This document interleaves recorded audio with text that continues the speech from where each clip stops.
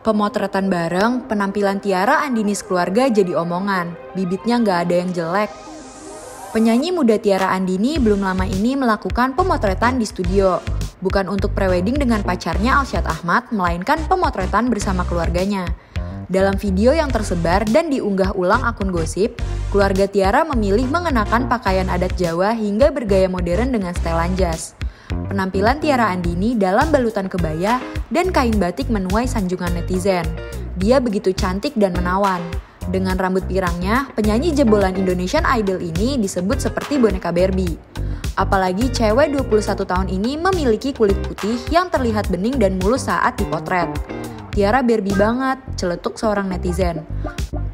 Padahal mukanya polos, tapi dilihatnya enak dan cakep gitu loh. Kulitnya aja bagus banget komentar netizen lain. Ada juga yang menyebut Tiara Andini sekilas mirip artis Korea Selatan Song Hye Kyo.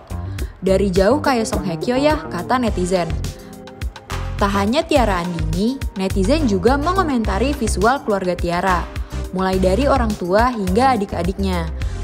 Menurut sebagian netizen, keluarga Tiara adalah bibit unggul. Apalagi ayah dan ibu Tiara juga memiliki paras yang rupawan. Emang bibitnya nggak ada yang jelek, celetuk netizen. Ibu bapaknya cakep, ya anak-anaknya cakep, kata netizen lainnya. Mamanya cantik, papanya ganteng, ya gimana anaknya nggak sempurna? Komentar yang lainnya.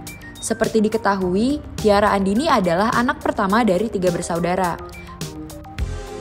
Gadis bernama lengkap Tiara Anugrah Eka Setio Andini lahir dari pasangan Nugroho Ediono Dedi dan Saryoshida Setio Astri. Sementara adik-adiknya, yakni adik perempuan bernama Aurelia Syaharani dan adik laki-laki bernama Holland Mauricio.